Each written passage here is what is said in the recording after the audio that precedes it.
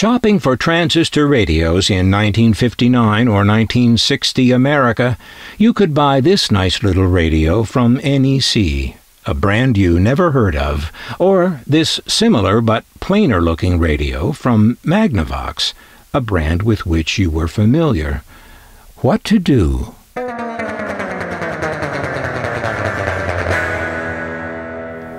Choose either one. You could buy either one and you were going to get the NEC. NEC, the Nippon Electric Company, made them both. Magnavox presumably knew how to make transistor radios. Their previous American made models were presumably made by them. But like a lot of American brands around 1960, they found it cheaper and easier to contract with manufacturers in the Far East to produce their goods for them. You don't often get to see side by side versions of such products as produced by the maker under their own name and as produced under contract for an American brand. Obvious stylistic differences include the more deluxe embossed grille on the NEC, as opposed to the Magnavox's more plain grille, and there's what engineering types will call the escutcheon the area where the knobs and dial window are. The Magnavox escutcheon is a rather simple piece of metal. But it's not just open, though. There's an inset piece of clear plastic in the window opening.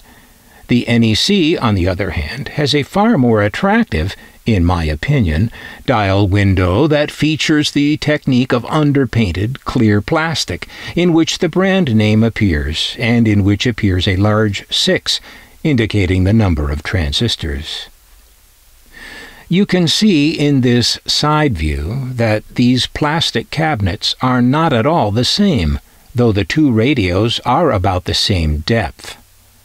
On the NEC, the front is shallower and the back deeper than on the Magnavox.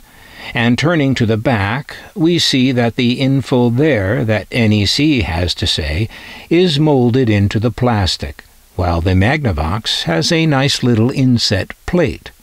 The back of the Magnavox, however, is not held on with a screw, as is the NEC's, but is secured solely by four little plastic tabs in the typical fashion of the later, less expensive transistor radios. There is one other way externally that the NEC is a bit more deluxe, and that is in the lettering below the grille. It says there all transistor, and it does so in molded in letters that are finished in gold paint. This is a nice look that I've talked about in other videos, and that was just about to go extinct in consumer product design at the time. The Magnavox has its brand name in this area, below the grille, and as you can see, it has not aged well, but is hardly visible.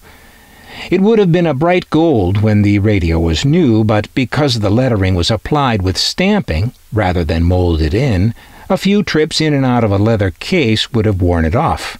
Now, if you're going to skimp, the last place you want to skimp is your branding. The takeaway here in this comparison is that in almost every difference between these models, you can see that Magnavox's interest was in cost cutting.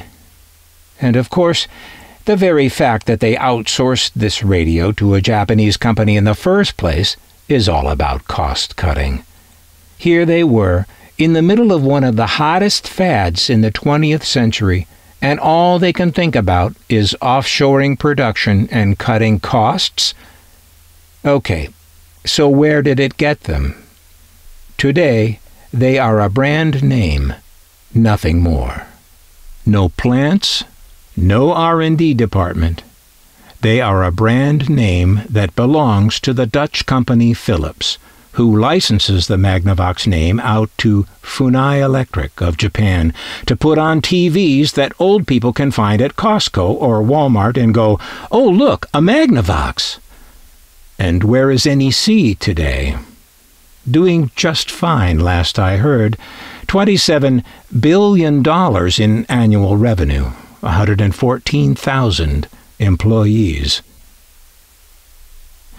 I like looking at the owner's manuals for these little radios. Here in the Magnavoxes is the typical stuff a few words extolling the virtues of the printed circuit, and some talk of what a terrific advancement the transistor was over tube technology. When it comes to the actual operating instructions, there's not much to say. Turn it on, tune it, change the battery. And the warranty is on the back. The instructions for the NEC, which I don't have, may well be more interesting in that they may have some funny translation errors and stylistic quirks that amuse collectors. But the instructions for the Magnavox Pocketmate are clearly not a translation, but originated in the United States, even if those words are the only thing in this entire package that did. Magnavox's relationship with NEC continued on with other radios, and we'll look at them in other videos. So it's 1960, and you're looking for a little radio like this. Assuming both of these radios are a roughly similar retail price, which would you choose?